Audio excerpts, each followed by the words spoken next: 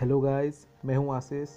आप दुनिया में किसी भी जगह पर चले जाओ, आपको कुछ ना कुछ रोचक बातें या चीज़ें देखने को या सुनने को मिलेगी, जो कि एक आम बात होता है। आज ऐसे ही हम लोग कुछ रोचक बातें जानेंगे भूटान के बारे में। भूटान, जो कि एक लैंडलॉक्ड देश है, जो कि पहाड़ों के इर्द गिर्द बसा है। 1960 तक दुनिया के दूसरे देशों से भूटान ने खुद को दूरी बनाए रखा था। वो इसलिए क्योंकि ये देश पर्वत श्रृंखला से घिरा हुआ है। आज हम ऐसे ही कुछ रोचक बातें जानेंगे भूटान के बारे में तो चलिए शुरू करते हैं। Most dangerous road in the world. दुनिया के कुछ गिने चुने खतरनाक रास्तों में से भूटान भी आता है, जहाँ के रास्ते बेहद ही खतरनाक होती है, क्योंकि ये रास्ते 7500 मीटर ऊपर है और बेहद ही खराब रास्ते होने के कारण ये रास्ते और भी भयानक और ख़तरनाक बन जाते हैं, जहाँ पे आपको जगह जगह ड्राइव स्लो का बोर्ड देखने को मिल जाएगा। Smoke doesn't allow. 2019 में साधारण सभी देश में सिगरेट एक आम बात हो गया है, मगर इसे हमारे स्वास्थ्य पर बुरा असर पड़ता है, लेकिन इसके आदतों ने सारे लोग खुद को छुड़ा नहीं पाते हैं।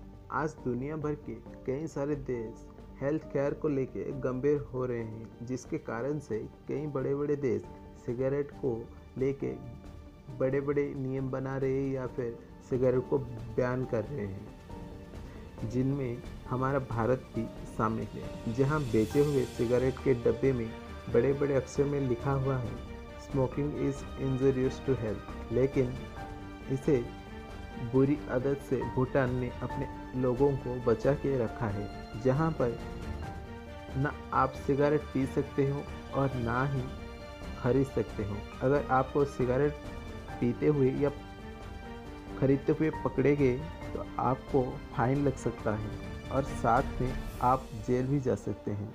इसीलिए धूम्रपान ना करें और ना करने दें। Plastic bag app ban in Bhutan. वातावरण को प्रदूषित करने में प्लास्टिक का भूमिका आज के दौर में एक आम बात हो गया है, जिसे छोटे से लेके बड़े देश सभी इस्तेमाल करते हैं। ये सोचे बिना कि ये वातावरण को कितना जहरीला बनाता है। लेकिन 1999 में भूटान में प्लास्टिक को पूरी तरह बैन किया गया है, जिसे भूटान में प्लास्टिक से वातावरण प्रदूषित नहीं होता।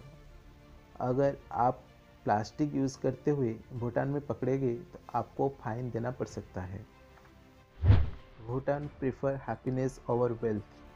दुनिया भर में सभी देशों में आपको एक वर्ड सुनने को मिल जाएगा।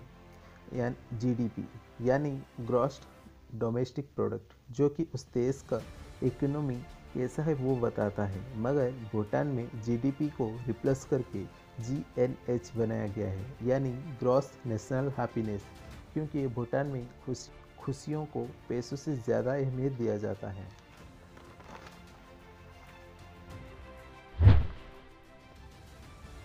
Mandatory to wear the national dress Bhutan के संस्कृति और परंपरा ऐसे है कि भूटान में लोग उनके राष्ट्रीय पोशाक पहनना अनिवार्य होता है।